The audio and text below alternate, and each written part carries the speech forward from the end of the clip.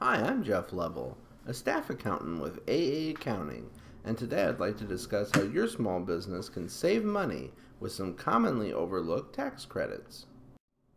The credits we're going to discuss in this video include the credit for small employer pension startup costs, the disabled access credit, the work opportunity credit, and the credit for small employer health insurance premiums. Small businesses can deduct half of their pension plan startup costs up to a maximum of $500. These costs include legal, consulting, and office expenses to set up a simple or SEP IRA or a 401k retirement plan for their employees. Taxpayers often overlook the Disabled Access Credit which is a tax credit of up to $5,000 for expenses related to making your business more handicapped accessible. A common example of a qualified expense is construction costs to make your business wheelchair accessible. For example, the construction of a ramp.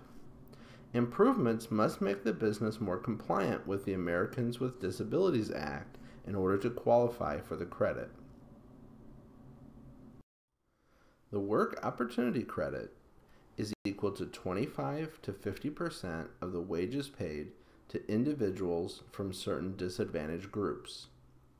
You can generally consider up to $6,000 of wages for the credit, making the maximum credit per employee between $1,500 and $3,000 per year, although you can consider up to $24,000 of certain veterans' wages.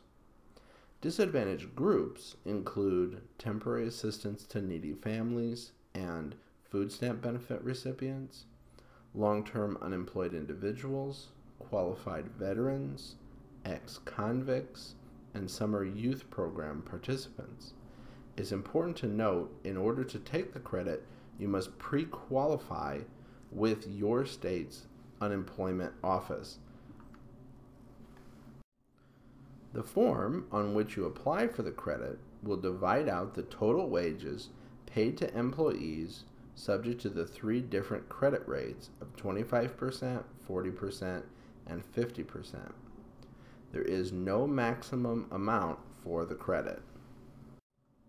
The last credit we're going to discuss today is the Small Employer Health Insurance Credit.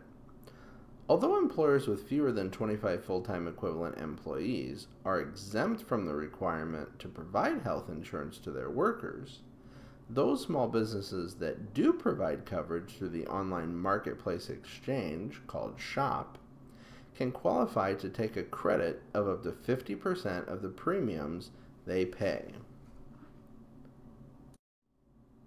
At AA Accounting, our tax experts study year round to stay up to date with changes to the tax code so you can focus on running your business. With over 60 years of experience, we know how to help your business grow and succeed. Call us today to discuss your situation with one of our tax experts and start saving.